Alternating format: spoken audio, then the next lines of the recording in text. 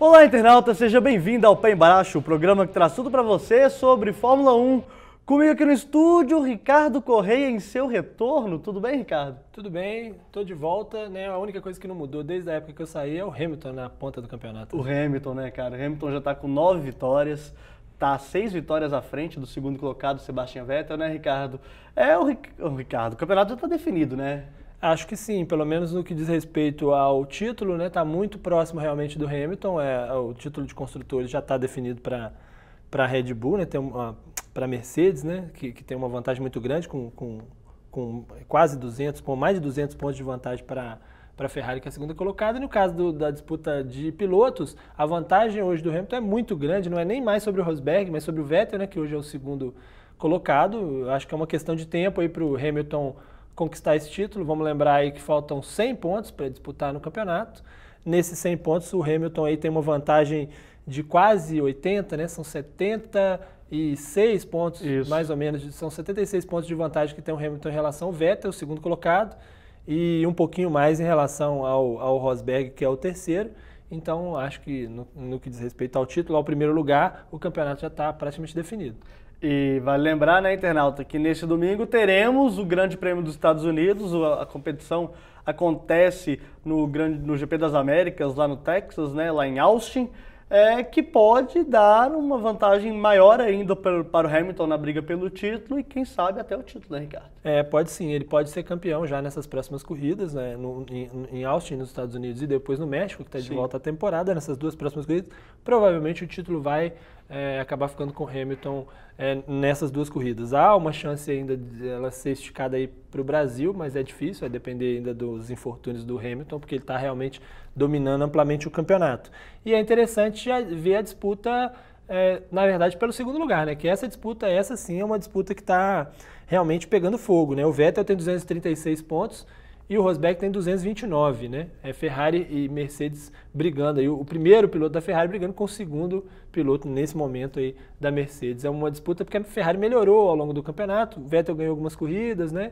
O, o Hamilton está dominando amplamente, mas o, o Vettel está na briga com o Rosberg, embora o Rosberg continue dizendo que o foco dele é o Hamilton, que está pensando no título e ignorando a presença do Vettel na frente dele, né? É, e vale lembrar que no, na temporada do ano passado, em 2014, o título só veio na, em Abu Dhabi, né? Com é. o Hamilton vence, é, nem vencendo a prova, mas o Rosberg conseguiu fazer uma ótima prova, mas não conseguiu porque seu carro teve problemas, e aí o Hamilton se sagrou campeão. Nesse ano, nem isso, né? é. né? A temporada foi avassaladora do Lewis Hamilton, tanto que já temos uma projeção de uma Ferrari vice-campeã, no caso com o Sebastian Vettel, e a possibilidade do Sebastian Vettel ser vice-campeão aumentou muito depois desse, muito. desse aumento de rendimento da Ferrari nas últimas provas, né, Ricardo? Não, exatamente. Você falou do ano passado. Ano passado a gente teve duas questões muito relevantes. Primeiro que o Hamilton fez um início de temporada muito ruim, muito Sim. difícil, teve muitos problemas, né? Na verdade não é que foi Ele ruim. custou se adaptar, né? É, não, e ele teve problemas mesmo de, de acidentes, motor e tal. Ele, ele, ele ficou fora de algumas provas e isso é, equilibrou a disputa com, com o Rosberg e deu confiança ao Rosberg. Esse ano, o Hamilton, embora tenha tido problemas também no início da temporada, o Rosberg também teve. E na sequência, o Rosberg teve alguns infortúnios também, e isso e esse equilíbrio que tinha é. vindo do ano passado não foi possível. E o Rosberg ficou absolutamente aniquilado, porque depois de perder o ano passado numa disputa equilibrada. Ele viu o Hamilton disparando logo no início do campeonato e abrindo frente, embora em alguns momentos ele chegasse perto, mas sempre que o Hamilton terminava a corrida, terminava na frente dele. Isso fez com que o Rosberg ficasse completamente é, né, desanimado ao longo da temporada. E por outro lado, o Vettel que estava vindo para a equipe nova, para a Ferrari, que tem todo o entusiasmo, né, toda a empolgação, né, depois de perder o Alonso, a Ferrari vinha um momento que a gente não sabia exatamente o que, que ia, né? Como é que ia ser esse, essa temporada da Ferrari. E o Vettel usou isso a seu favor e, e, e tem feito uma grande temporada, né? Bem, é, é e... bom se dizer que o Vettel foi tetracampeão com a Red Bull. Todo mundo dizia que o carro da Red Bull era muito superior e que ele tinha que mostrar ainda alguma coisa. E agora na Ferrari ele está efetivamente mostrando que ele é realmente é, um grande piloto. E a gente também não, não dá para desprezar um talento igual ao do Vettel, né? É. O Vettel tetracampeão do mundo, como você bem falou, mas é um baita é. piloto de Fórmula 1. É, se você 1, né? olhar o Kimi Raikkonen, que é um piloto que já é campeão mundial, embora né, o Kimi Raikkonen foi campeão no ano complicado, um ano que teve muita, muita disputa da McLaren, que tinha um, tinha um carro bom, mas tinha dois pilotos brigando e tal. O Raikkonen naquele momento aproveitou a oportunidade, mas o Raikkonen hoje tem 123 pontos contra 236 do Vettel, quer dizer, é, são mais de 100 pontos, É, são a 110, é quase o é muito dobro, né? grande. E aí a, e a questão do, do Raikkonen, é que pá, às vezes dá a impressão que ele não tá nem É. aí também, de estar ali na Ferrari, estar ali na Fórmula 1. É, Parece que pra é. ele ou tal, não tá, não faz a menor diferença, né, Ricardo? É, e aí, mas o que a gente está colocando é o seguinte, é, um- é um grande piloto, tem Baita essa piloto, questão, sim.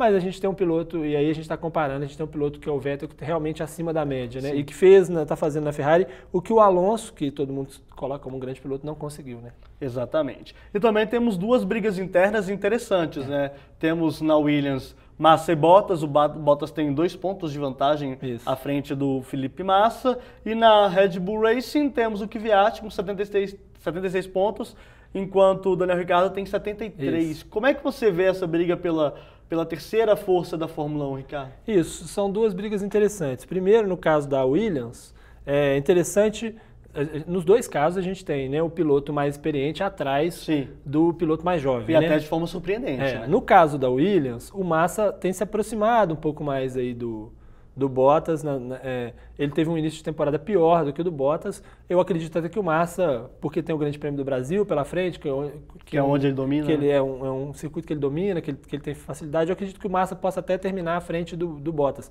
Eles estão com dois pontos de diferença e eles estão é, muito perto do do Kimi Raikkonen, que tem 123, né? São 123 do, do Raikkonen, 111 do Bottas e 109 do Massa. Ou seja, a briga pode ser pelo quarto lugar do campeonato, né?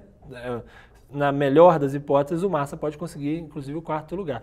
E no caso da Red Bull, é interessante porque é uma briga entre um piloto que foi sensação no ano passado, que perturbou muito o Vettel no ano passado, né? Esteve à frente do Vettel a temporada inteira, e agora, e agora ele está fazendo ele está no, no, outro lado, né? Ele virou o cara experiente da equipe, Exatamente. embora seja muito jovem, e o Kvyat, que é o piloto jovem, acabou tá superando ele nesse momento, uma distância pequena. E a Red Bull, é, num ano muito difícil, é, né, ficou para trás aí mesmo da, da, da Williams e, e, tem muitas dificuldades aí para a temporada seguinte. E a gente não sabe nem se vai continuar, né? É, Porque o mimimi da. Red Bull tá tão grande, né? Não fecha, acabou de perder o acordo com a Renault, a gente não sabe com que motor É. vai correr ano que vem, se é que vai correr, né? É. Então o campeonato ano que vem, a temporada 2016 já começam a ficar mais, mais quentes nos bastidores e tem tudo para isso acontecer, né? Real- Realmente a Red É. Bull há uma chance real dela não estar no grid na temporada 2016, né, Ricardo? Exatamente. A- a- e se ela saísse, ela levaria junto a Toro Rosso. São duas boas equipes, duas equipes, uma equipe de ponta e uma equipe média,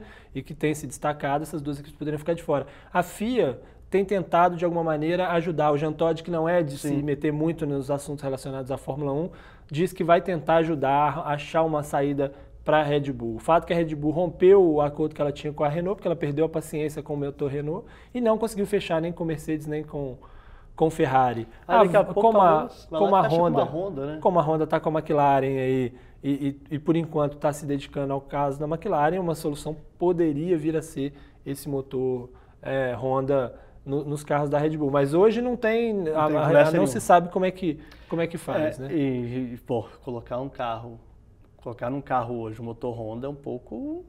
É, a Honda teve Mas um é melhor que não ter difícil. motor, né? É, a Honda teve um ano difícil, mas ninguém tem dúvida de que a Honda É, logo, lógico, logo terá claro, um grande claro. motor, né? Não se sabe se ainda no ano É que uma vem. grande empresa, não dá, não Né? dá para não pensar O f- num, é. num motor mais atraente para a próxima temporada, É, né? Talvez 2017, porque a, a Fórmula 1 vai mudar de regras de novo Sim. em 2017, então tá todo mundo apostando muito que 2017 pode ser o ano da virada, né? A Red Bull imagina que, que se ela estiver lá na Fórmula 1 em 2017 o jogo vira de novo. Sim. A Williams espera dar um passo a mais em 2017, a McLaren nem se fala, né? Porque esse ano foi uma catástrofe, um ano de reestruturação, então...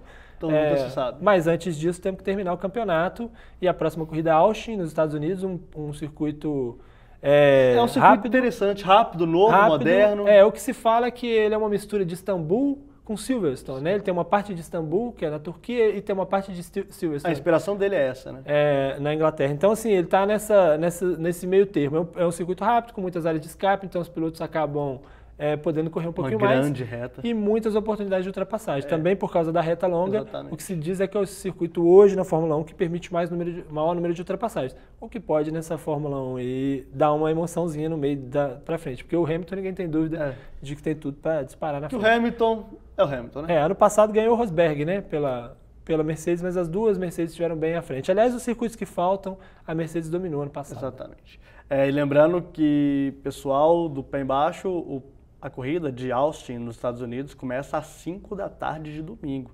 É um horário Exatamente. completamente diferente daqueles que a gente está acostumado. Não né? vai estar nem na TV aberta, né? Vai estar na TV fechada. Porque é a hora do futebol. Exatamente na hora do futebol. Então é isso, né, Ricardo? Obrigado aqui pela sua participação conosco. Eu que agradeço, sempre que precisar, nós estamos aí. Semana que vem a gente volta então, pessoal, para falar um pouco mais sobre o resultado do Grande Prêmio dos Estados Unidos, tá bom? Um grande abraço e até a próxima.